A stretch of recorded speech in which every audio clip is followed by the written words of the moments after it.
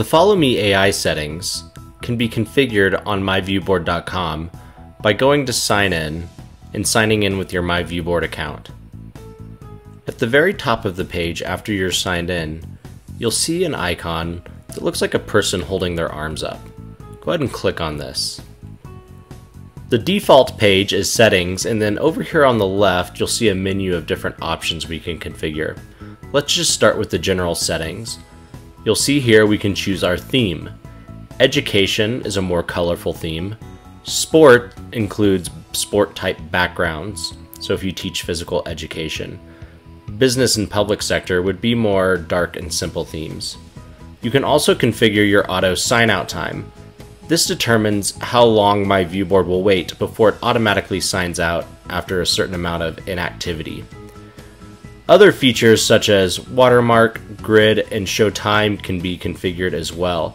These are settings for backgrounds always enable wireless presentation is part of the student collaboration tools where students can send their screens to the board.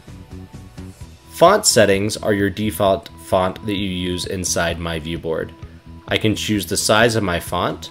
I recommend something around the 60s or higher, as well as the font style, like bold or italic. You can also choose a default font color. Let's go ahead and choose something that's a little different. We'll choose kind of this darker red color. Also, we can change our pen color as well as the pen width. Let's set our pen width to 4 and then let's choose a new color. Let's choose a color that's more purplish. When you're finished, make sure you choose the confirm button at the very bottom or it won't save any of your changes. Let's go configure some other settings. Let's go to the background section, which is over here on the left menu. Preset backgrounds for education theme will show up here, including a default color. We can see here if I want to choose a default color, I click the rectangle and then I can choose a specific color. Let's choose something a little more turquoise. Click here to set it as default.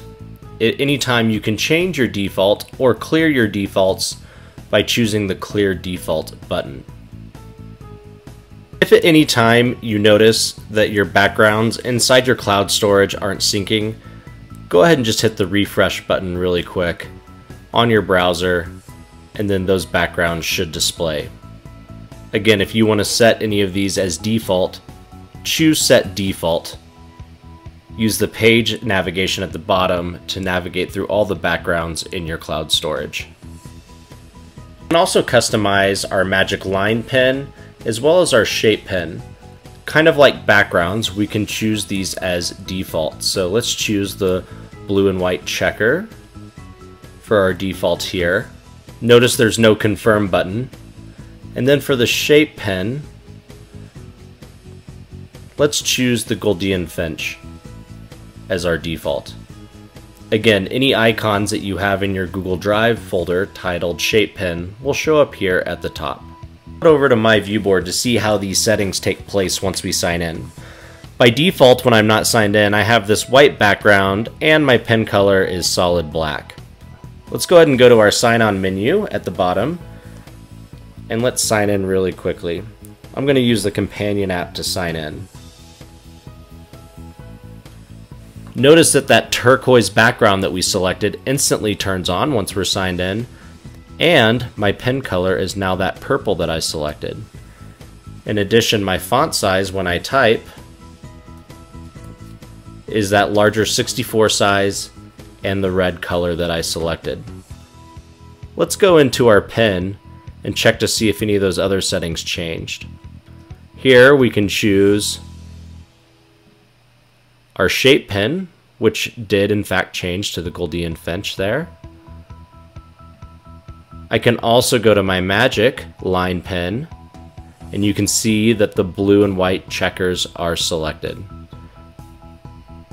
So remember, on myviewboard.com, use the Follow Me AI settings to change things like your background, your default pen color, and other tools like the Magic Line pen or Shape pen.